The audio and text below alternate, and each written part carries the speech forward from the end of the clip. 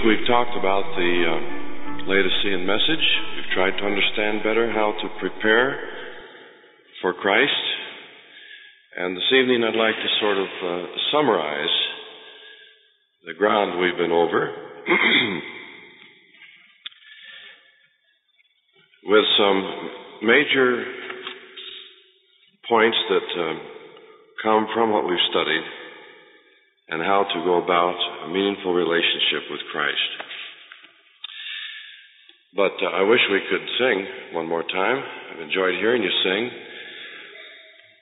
especially when the parts begin coming in on the chorus.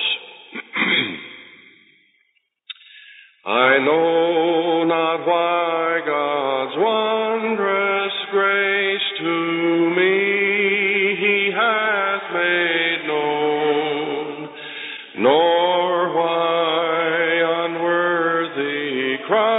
in love redeemed me for His own.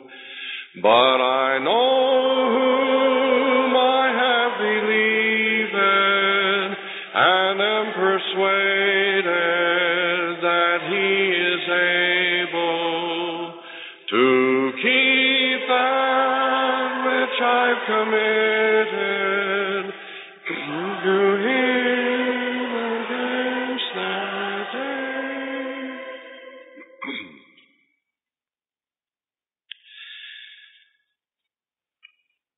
tempted to tell you everything that I know about marriage and family this evening. You know, when you talk to a group of singles, that's an overwhelming temptation.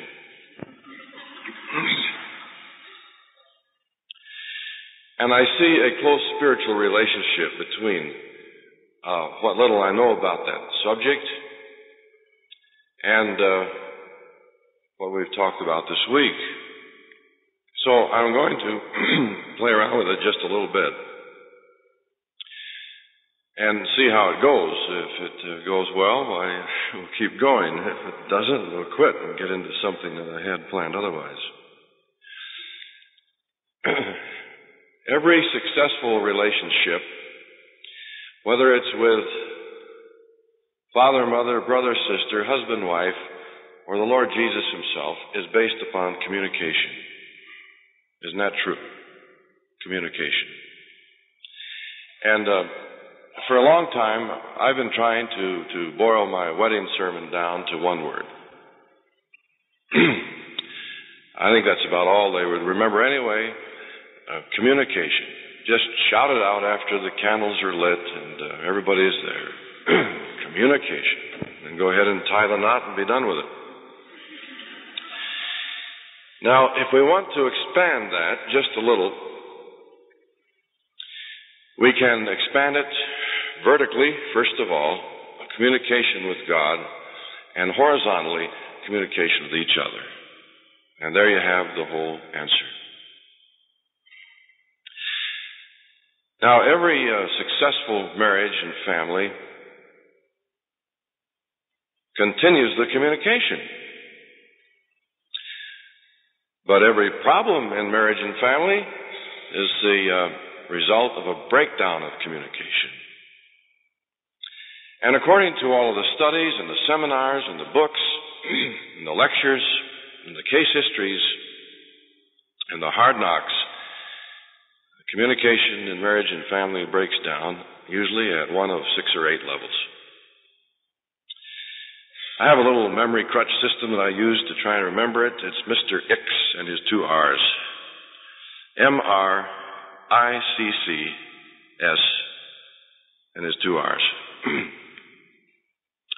Money, religion, in laws, children, lack of things in common, the sexual side of marriage,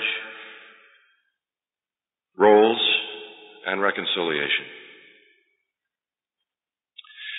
The problem in the area of money looks like an innocent one,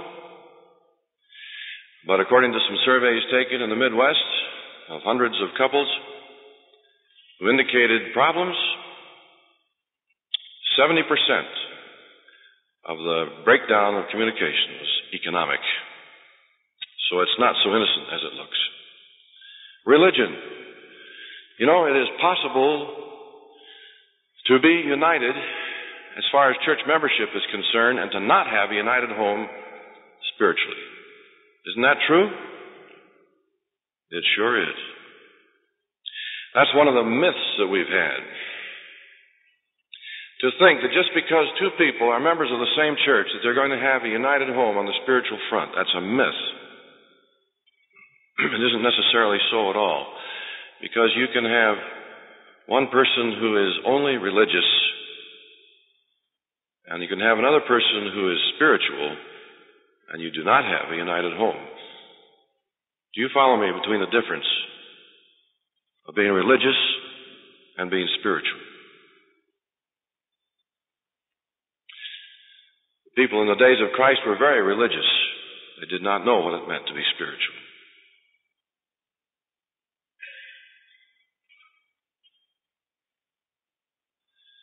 In laws. What's the problem here? Well, it's obvious. And I'd like to expand on the spiritual side of that in a moment. Children. How does communication break down in this area? Well, of course, first of all, whether or not to have them. Secondly, how to bring them up. Discipline, disagreements, conflict over how to relate to them. Things in common. A very tricky one because it is so easy to think that you have everything in common at first when love is so strong and to uh, miss the point. To wake up after marriage and realize that you have very little in common. He likes concerts. She's never been able to stand concerts. But now she likes him. And she's found out that she has a new interest. Concerts. That's where it gets tricky. Six months, a year after they're married, find out that uh, you don't change that much just because you got married. She still hates concerts. Isn't that the way it goes? and so to discover how much we really have in common takes some serious study, and the happiest marriages are the ones that have the most common interests and common ways. The sexual side of marriage. the Christian philosophy is that sexual compatibility is the result of a happy marriage, not the cause. It's just the opposite from the world who feel that it's the cause. And according to the world, I'm surprised on even some of the advice from some of my own colleagues. If your marriage, your relationship is in trouble, spend more time in that area. I've never seen a, a greater demonstration of salvation by works in my life. Sexual compatibility is the result of a happy marriage. Roles. Today we have problems on that. More than we used to. Uh, who is expected to do what? What is the role? It can vary in relationships, can it? But there must be a clear understanding of who is doing what and have the lines clearly understood. Sometimes people chip away on this for years before they come to an understanding. And finally, reconciliation. They um, have never understood how to reconcile when there have been differences. now, I have talked to families, to marriages, where uh, the people felt like they were in trouble. And I have followed the practice of going down through these eight points where communication usually breaks down. And as we go down through the list and find out their reaction, we know just how big the trouble is. For instance, if on every one they say, oh, my, that's a disaster, and all eight go that way, why, you know that you're in for a long, hard winter. If, on the other hand, no problem there, no problem there, never had any problem there, you come down, I was talking to one couple a while back, you come down to the last one, reconciliation. For 20 years, they had lived together as husband and wife, and uh, were married, and they, in the process, discovered that neither one of them ever knew Evidently, in their background, they never knew how to say they were sorry. When there had been problems, difficulties, arguments, disagreements, they simply said nothing. And for 20 years, this had been chipping away until love had waned and they had no marriage left. Whatever your method, whatever my method, I must, in order to have a successful relationship, know how to uh, attack the problem of reconciliation when there have been differences. And the happiest is the person who knows how to say, by the grace of God, I goofed. I'm sorry. Will you forgive me? Isn't that true? Isn't that the biblical approach? well, that's a synopsis. And, uh, you know, I don't know personally a whole lot more than the synopsis about this whole business. But I'm intrigued by the spiritual uh, suggestions from this.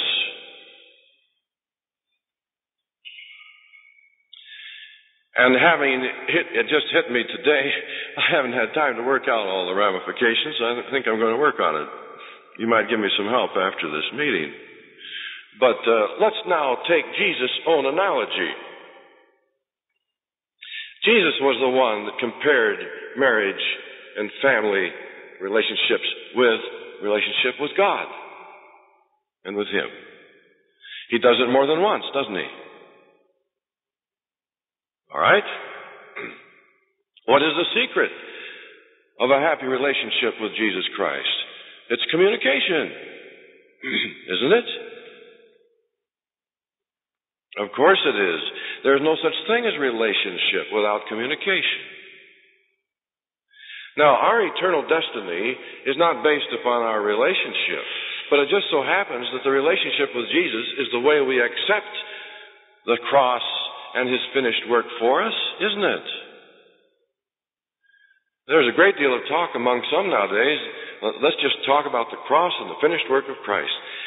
I, uh, I respect and I honor and I stand in awe at the finished work of Christ at the cross but it avails me nothing until I accept it. And it avails me nothing until I continue to accept it on a daily basis. Isn't that true?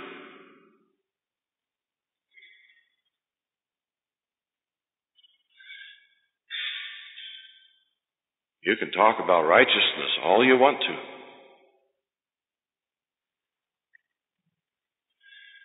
But the minute you talk about righteousness by faith, you are including two parties.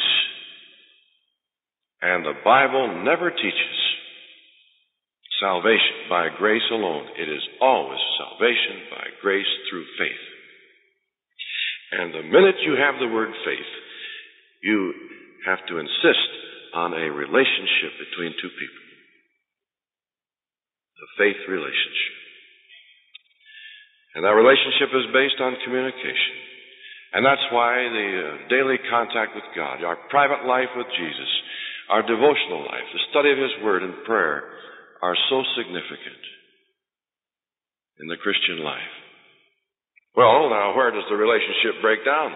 People, when they come to the altar, they are absolutely certain that this is the one, this is final, this is it.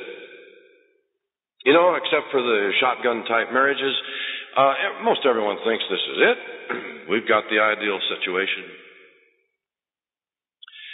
And if they continue to talk as much afterwards as they did before, we'd have a lot more happy relationships, but relationship breaks down because communication breaks down. And communication breaks down on these six or eight levels. How does communication with God break down? Money. Let's start with the first one. Money. Luke, the 12th chapter, verse 15. Jesus said it. a man's life consisteth not in the abundance of the things which he possesses. Aren't we, most of us, painfully aware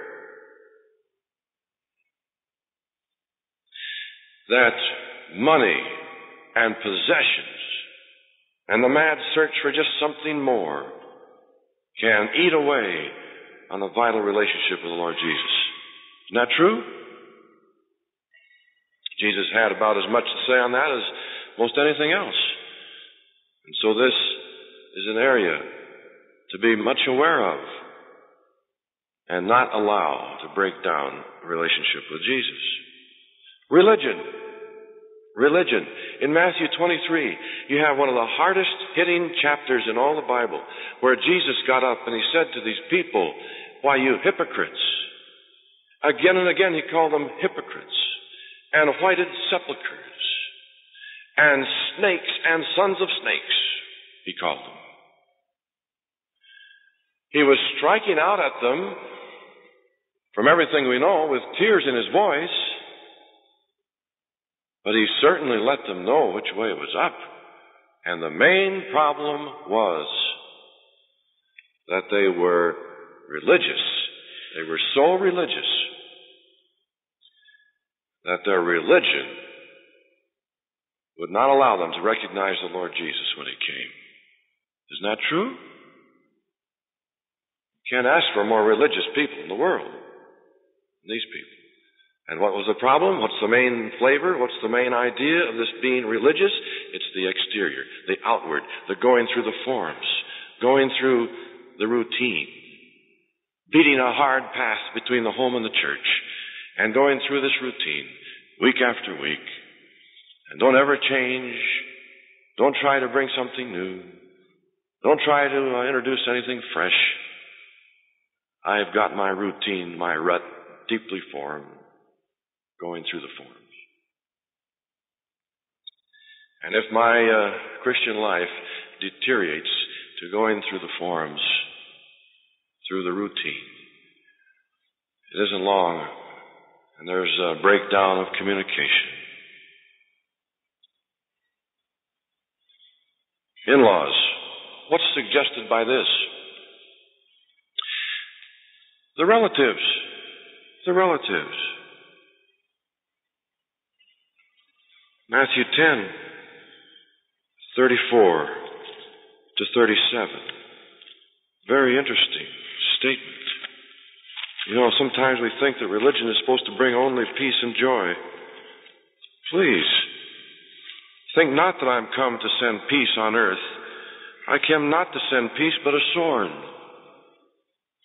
For I am come to set a man at variance against his father, and a daughter against her mother, and a daughter in law against her mother in law, and a man's foes shall be they of his own household.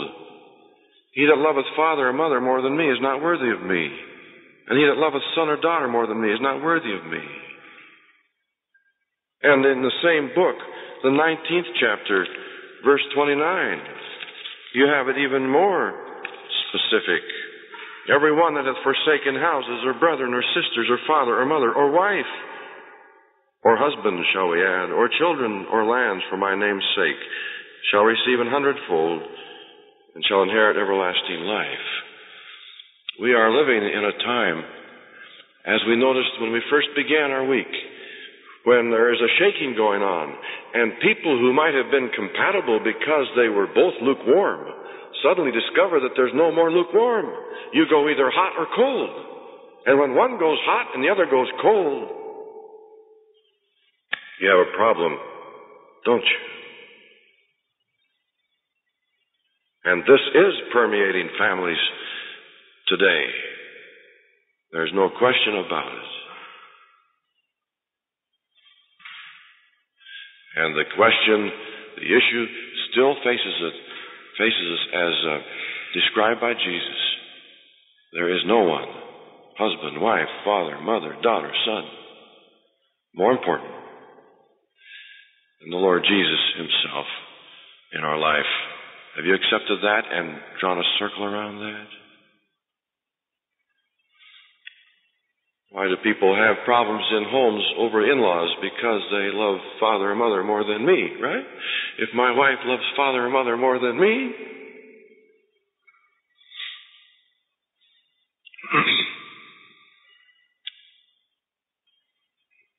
you know, I,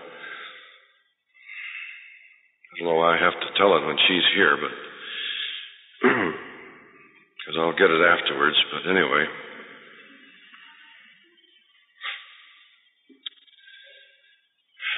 It was on our honeymoon, and I thought our marriage was over.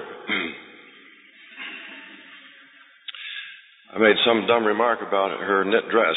I didn't like her knit dress. Well, her mother had knit the dress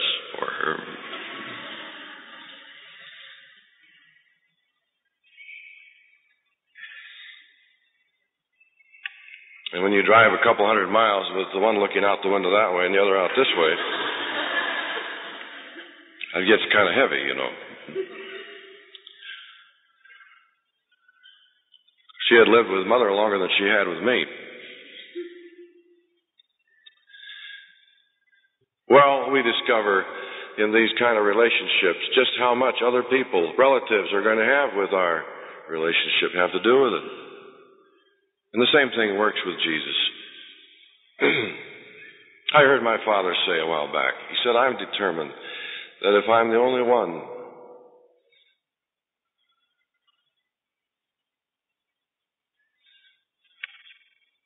that should show up in the heavenly country, and even if I knew that I would be the only one and none of the rest of my family were there, I would want to be there for Jesus' sake. Oh my, ouch. No, that tears you apart at first, but it's right. Isn't it? It's right.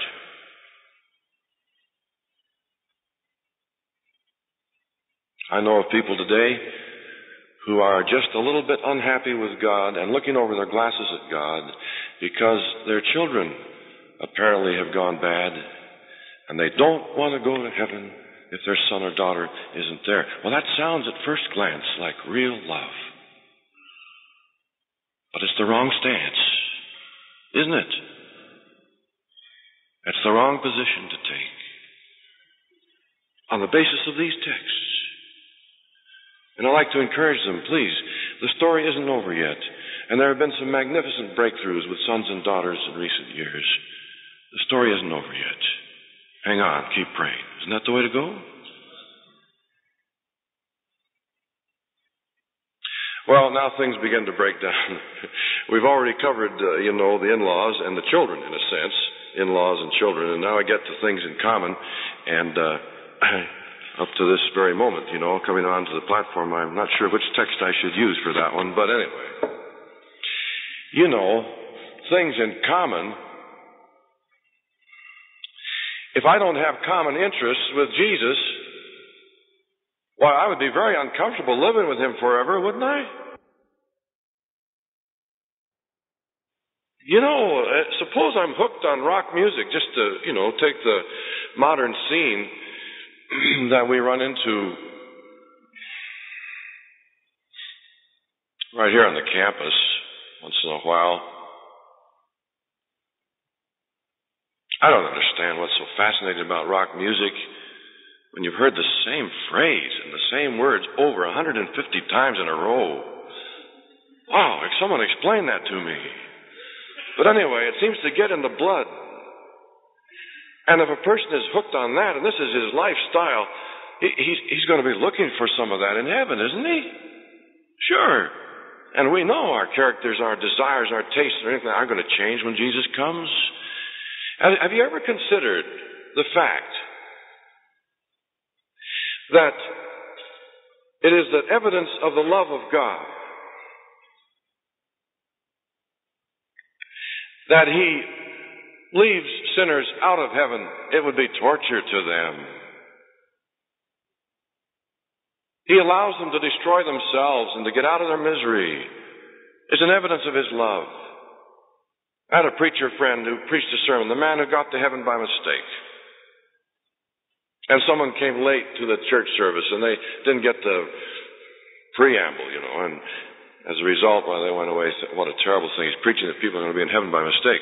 But his whole point was that suppose, just imagine that someone got there by mistake, how miserable they would be. And he went down through the things that would make him miserable. And finally, the first chance that the gates were left open, he would flee.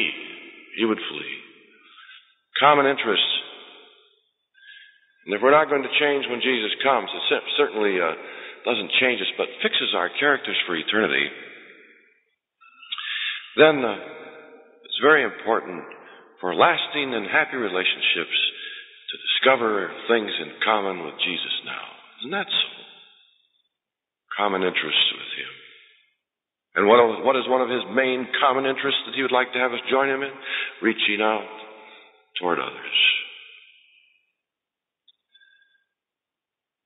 The uh, sexual side of marriage, uh, not not so far off. What does that have to do with? It includes what we do with our bodies. And what does Romans have to say about that? Romans the 12th chapter. You know the uh, you know the verse. Romans 12 verse 1. How familiar this is. I beseech you, brethren, by the mercies of God, that you present your bodies a living sacrifice, holy, acceptable unto God, which is your reasonable service. Here we have the reality that in a vital relationship with God, there can be a breakdown of communication because of unhealthful actions regarding our bodies. Includes the whole gamut. Doesn't it? Eating, drinking, temperance, the whole business. The whole business. And it is true and has been very well defined and pointed out by those who are specializing in the health approach that uh, a relationship with God and communication can certainly be affected here. No question about it. What about roles? Roles. Please, this is big. This is heavy. There has been a great deal of misunderstanding in the Christian life, Christian church, concerning who plays what role between God and I.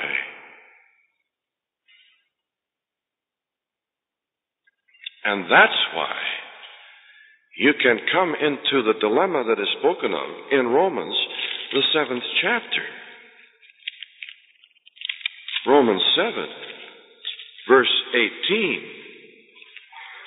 To will is present with me, but how to perform that which is good I find not. describing the problem of someone who doesn't understand his role, the relationship of divine power and human effort. And the same author wrote about it in Philippians, the second chapter, where uh, he made a very precise statement. He said, Work out your own salvation. Verse 12, with fear and trembling. There's something for us to do. We know there's something for us to do in this great scheme of salvation. We have to accept what Jesus has done. And He has done it.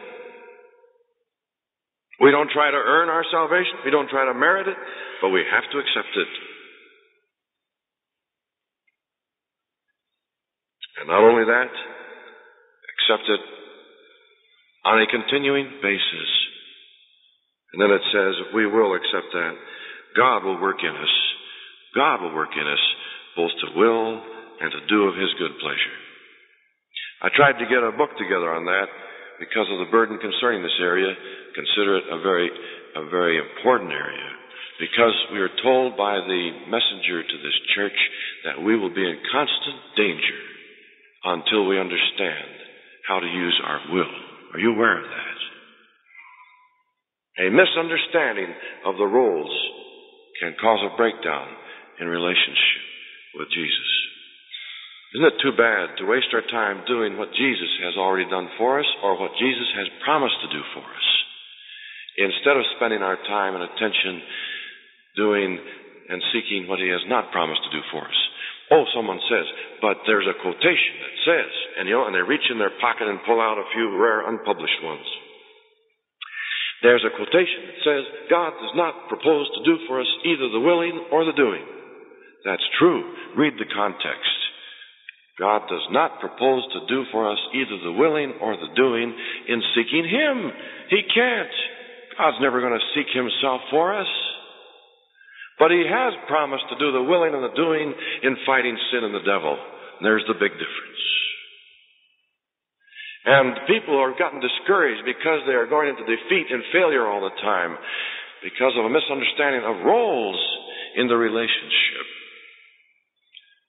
Will find relief when they discover that there's one thing we can do, we must do, and that God cannot do for us. That is to continue to come to Him. And all the rest of it He's promised to do for us, in us, he doesn't bypass our capacities, but He does them in us. It is God that worketh in you both to will and to do. And finally, uh, reconciliation. Reconciliation. Why, you know, the Bible has something very nice to say on that. 2 Corinthians 5. 2 Corinthians 5. If any man be in Christ, verse 17, he is a new creature. Old things are passed away. All things are become new. What does it mean to be in Christ? In Christ. What does it mean to have Christ in you? You know, this even suggests that most sacred, most intimate union in marriage. It even suggests it. But basically what it means is to be in relationship with someone to be in communion with someone, to be in fellowship with someone.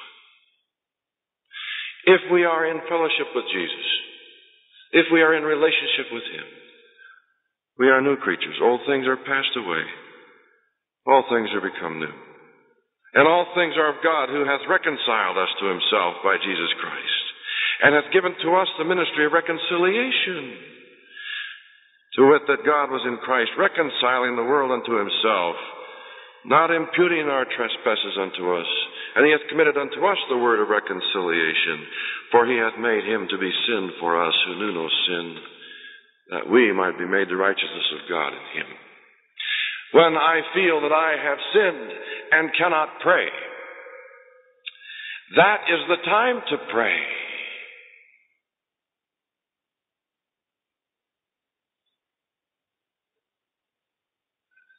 Away with this idea that when I, because of my behavior and my immaturity, I slipped and fell, and now I have sinned, and I have to wait for two weeks for God to cool off before I come back. Away with it.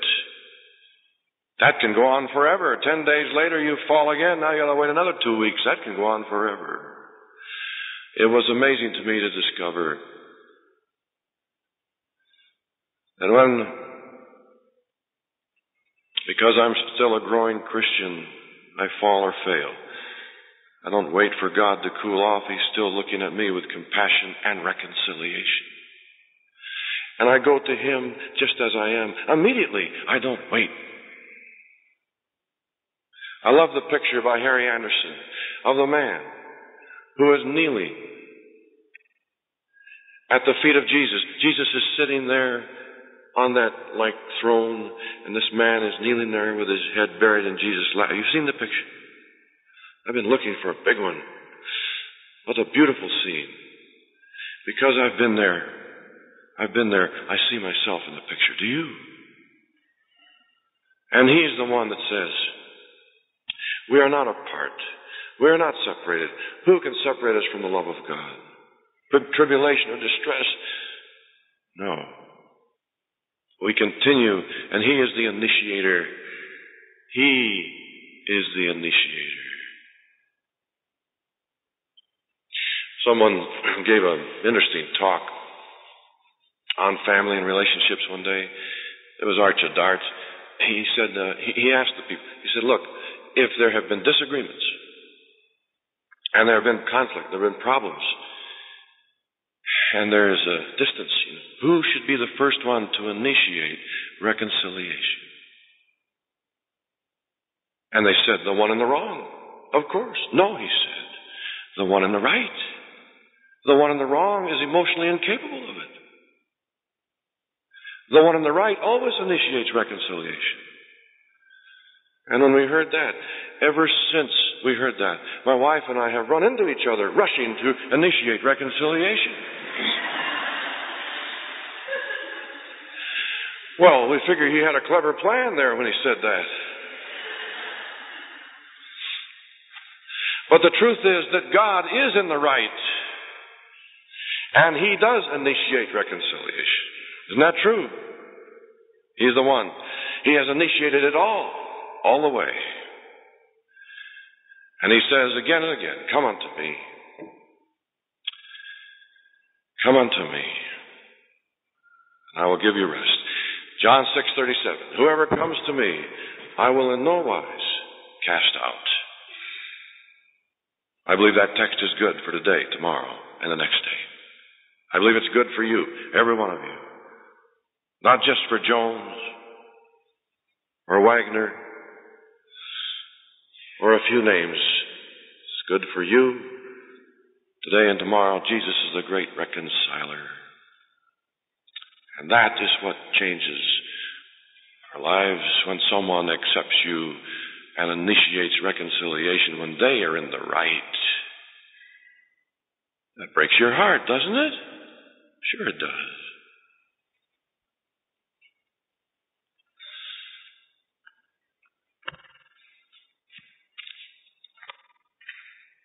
I guess I'll finish with the parable.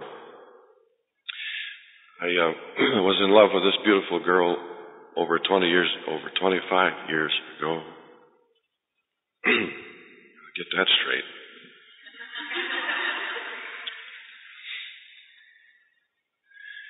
And uh, the day of our wedding came. I traveled north from Los Angeles to San Francisco. And we got up in front of the preacher and we admitted that we did. And he tied the knot, and after the wedding was over, she went back home with her folks, and I went back to Los Angeles.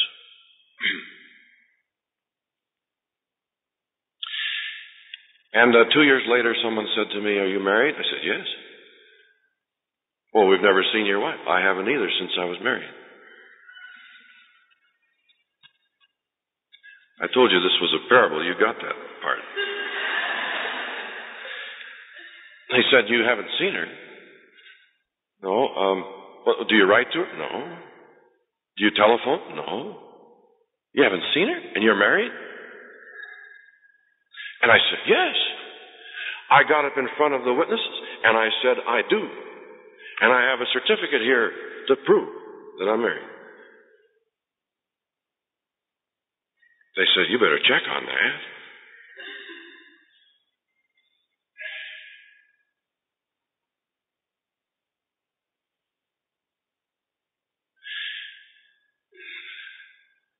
Ten years ago, some people said, I do to Christ and were baptized, and they got a baptismal certificate to prove it. What have they done about it since?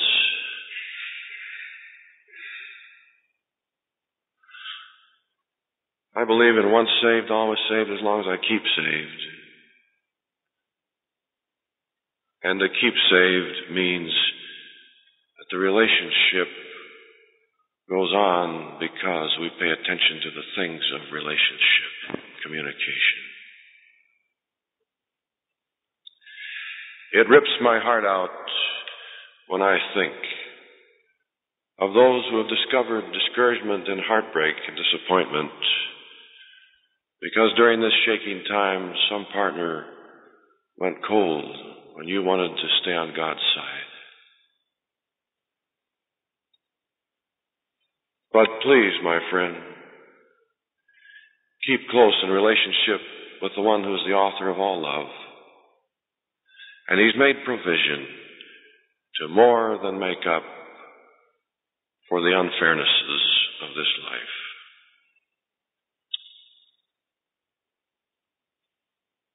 Shall we pray? Dear Father in heaven, we pray that you will teach us how to value those elements of relationship with you that make the difference.